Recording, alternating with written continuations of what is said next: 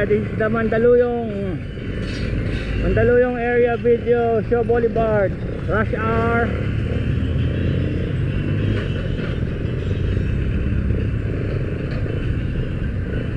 November 8, I think November 8. So binisita ko yung mga ano, binisita ko yung mga munisipyo ng Makati at Mandaluyong. And surprisingly, basta ganito ka pala pumunta sa kanila para sa taxes. Wala masyadong ano tao. Actually, ako nga lang yung ano, eh, pagdating ko ako nagbayad. Hindi nangyayari 'yun pag ano, pag December na. December to January. Hindi mo magagawa 'yun, pero ngayon ako lang ang tao, wow. South Sikap.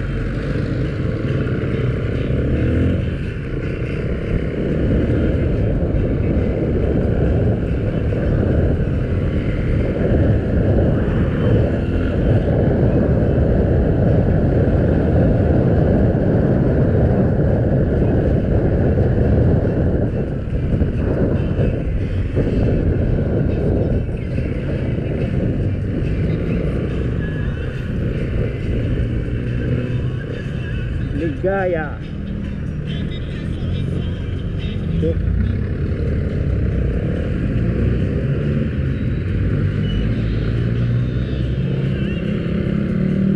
meron palang shortcut dito nakalagay yun, no? So, ito gusto nating targetin ay show.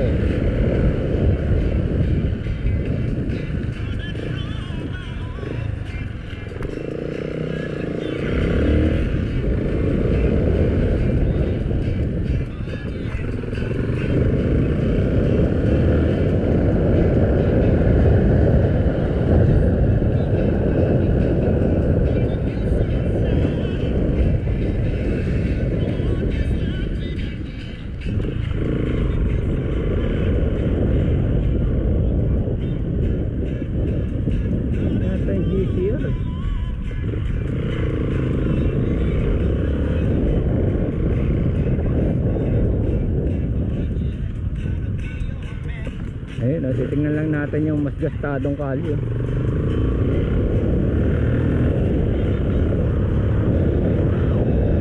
Pala yung looban ng Mandaluyong.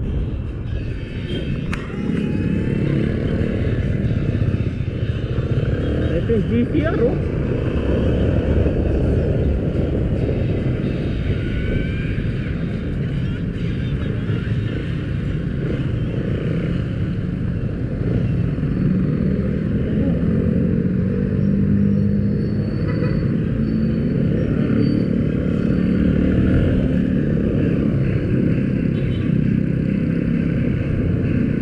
Boni. Ayan, Ortigas yun, tama. Ah.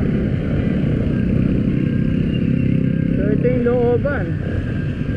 Kamigin.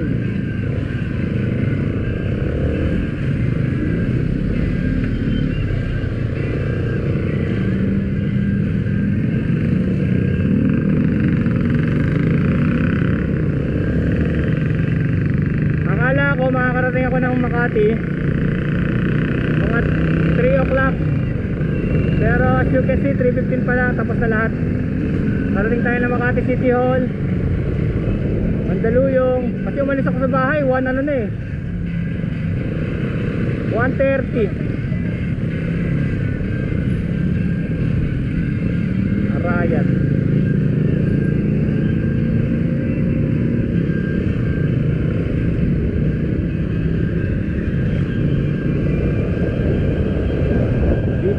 Naligaw eh. Madaling araw. Dito sa looban na to.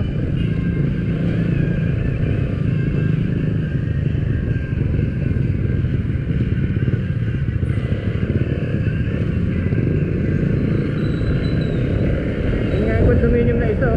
Grand Central Residences. At may mall na naman dito.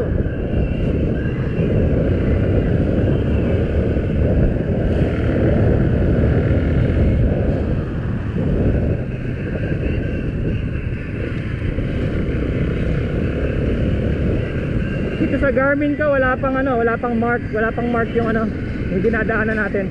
Sabihin, first time ko nakadaan dito. Pero pagdating sa dulo, may marka na. Palagay ko yun ay show. Show Boulevard. Then we will hit EDSA. EDSA, White Plains. Marikina. Ayan, Marikina Riverbank.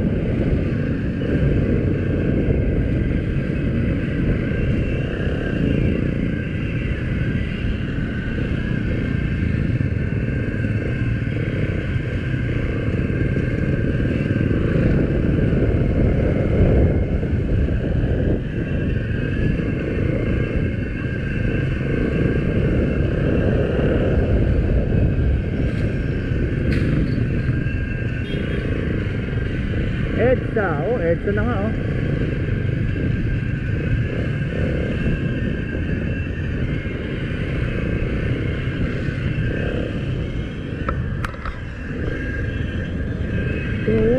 On EDSA. Ayoko sa EDSA. Dito tayo sa show. To show. Ayan oh. To show. To show. Kasi pag mag-EDSA tayo, maghanap pa tayo ng U-turn. Napakalayo. That will be in ano Ortigas.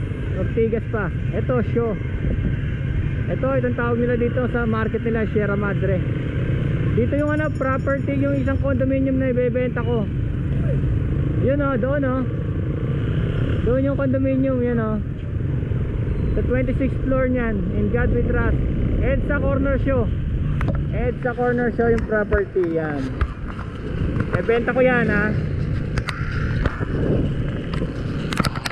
year 2024 may nakatira pa kasi. Pinaparenta pa kasi may nakatira. Yan. So pag kumanan tayo dyan is again another EDSA yan. So minsan iniisip natin Mandaluyong is just ano, show boulevard no? Kala natin community ng mayayaman pero tignan nyo sa loob ng Mandaluyong ito ordinary people. Sultan Street. Pero kasi maganda ang ano eh.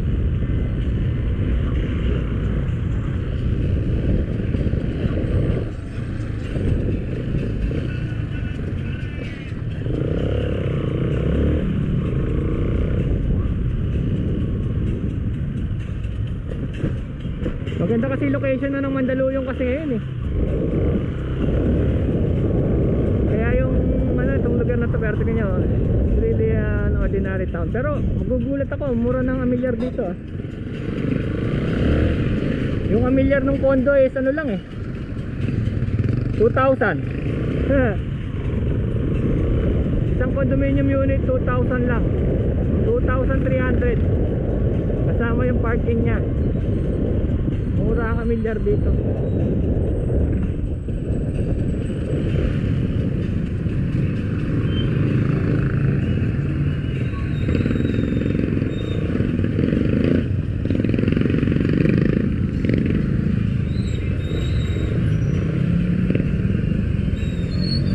wala pa tayo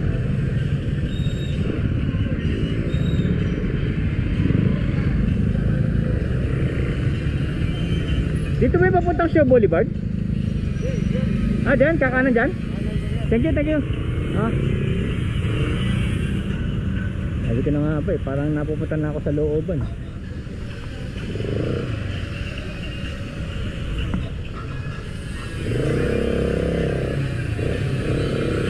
thank you boss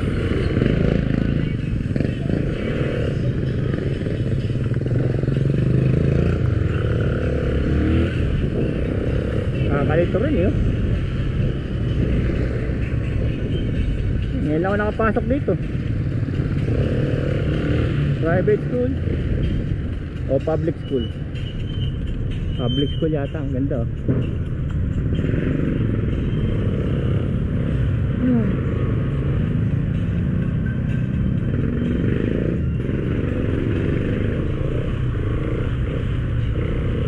Ako, hindi na naman natin alam kung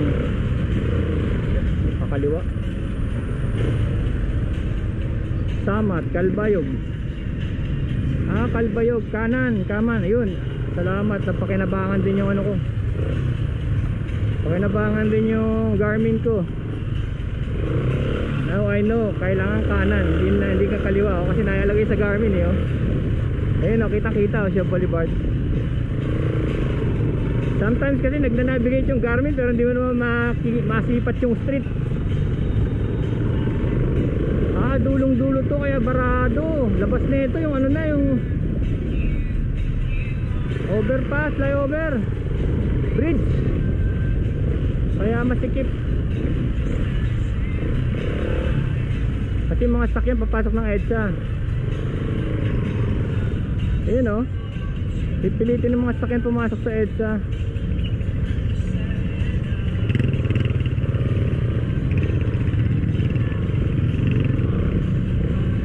Mga magdi-deliver yan sa ano. Ito GCR din yata tong condo na to eh. Ito yung extension niya eh. Extension ng GCR to eh. oh.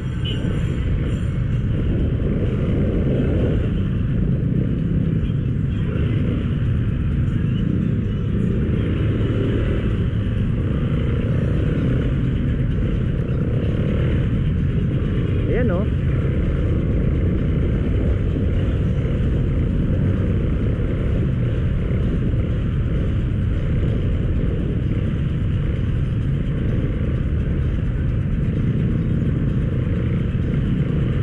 Maganda sa EDSA na lang. Ayoko na tumawid doon. Pagtawid mo ron, C5.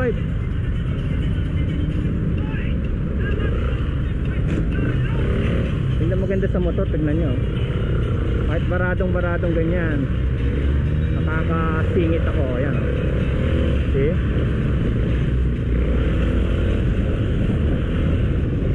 Ayan ang kagandaan ng motor.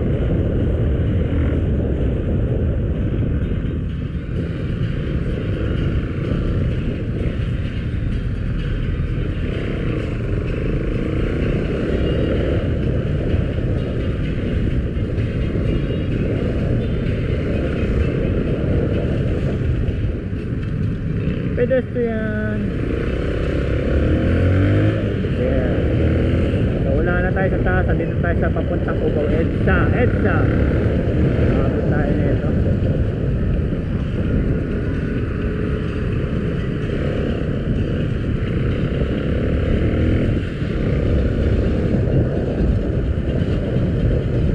Parehas din pala. Oh.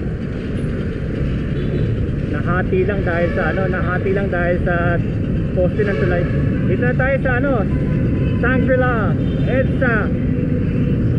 EDSA 330. So medyo ano, medyo bumabara na 330 na kasi.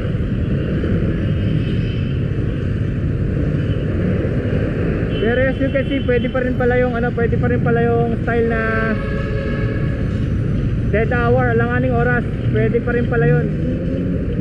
Mapapakinabangan mo pa rin pala yung ano yung patay na oras. Between 1 to 3 ganyan. Papakinabangan mo rin pala.